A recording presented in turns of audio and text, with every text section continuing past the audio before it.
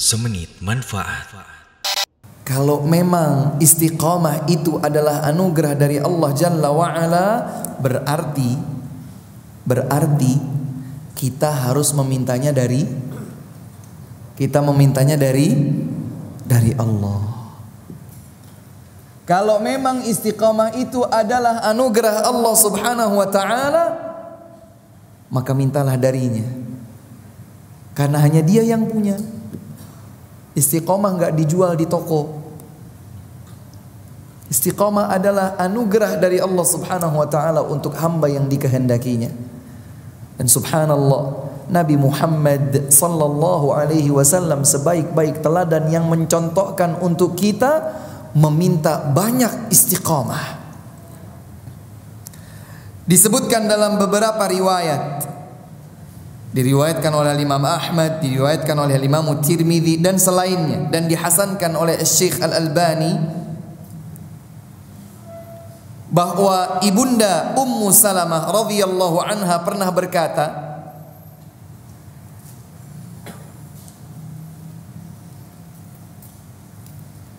Dahulu doa yang paling banyak dipanjatkan oleh Nabi sallallahu alaihi wasallam kata ibunda Ummu Salamah adalah Ya muqallibal qulub Thabbit qalbi ala dinik.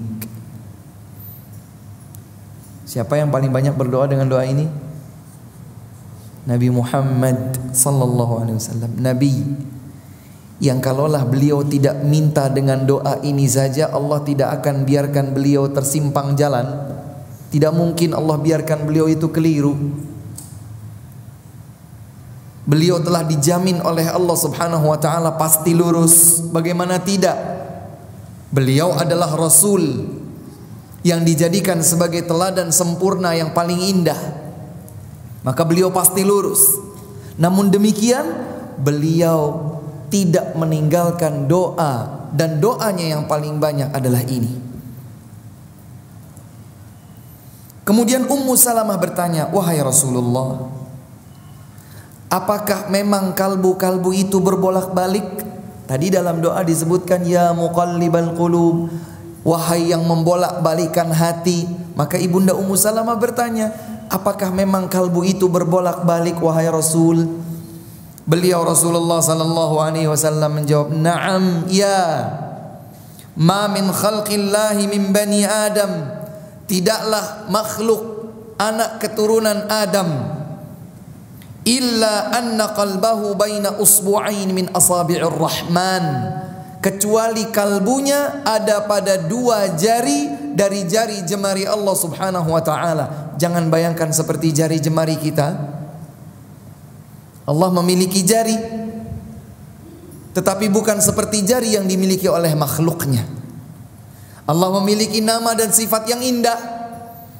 Keindahan, keagungan, kesempurnaan nama dan sifat Allah sama sekali tidak serupa dengan yang dimiliki oleh manusia. Jangankan antara makhluk dengan Al-Khaliq. Sesama manusia saja berbeda. Ada yang jarak pandangnya dari sini sampai 100 meter ke depan. Ada yang ternyata jarak pandangnya lebih jauh daripada itu. Ada yang jarak pandangnya tidak lebih dari 10 meter saja. Padahal sama-sama mata, namanya sama. Mata. Tapi mata yang satu bisa melihat sampai 200 meter, yang satu hanya bisa melihat 30 meter, yang satu hanya bisa melihat 10 meter. Sama-sama mata. Berarti mata sesama makhluk saja, sesama manusia saja beda. Kucing punya mata? Punya. Mau nggak dibilang bahwa mata kita sama dengan mata kucing? Karena beda memang.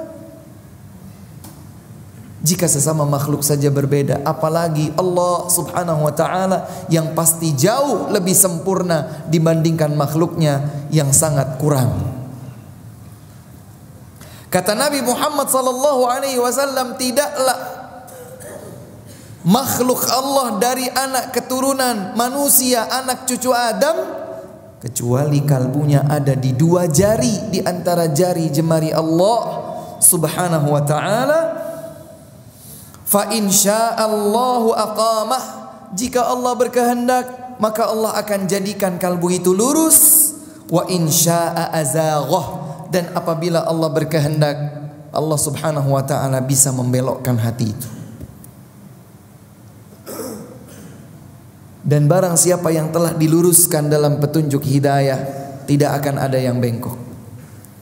Namun jika Allah telah membengkokkan sebuah kalbu, tidak akan ada yang dapat meluruskannya. May yahdihillahu fala mudhillalah wa may yudlil fala hadiyalah. Oleh sebab itu hadirin yang dimuliakan Allah Azza wa Jalla yang patut kita ketahui tentang istiqamah adalah bahwa istiqamah itu anugerah dari Allah, konsekuensinya mintalah dari Allah. Ustaz, tapi saya banyak dosa. Apa mungkin Allah akan berikan saya istiqamah kalau saya ini banyak berlumur dosa? Bertaubat kepada Allah Subhanahu wa taala. Jernihkan hati kita dengan taubat. Berprasangka baiklah kepada Allah Subhanahu wa taala kemudian minta kepada Allah untuk dianugerahkan istiqamah.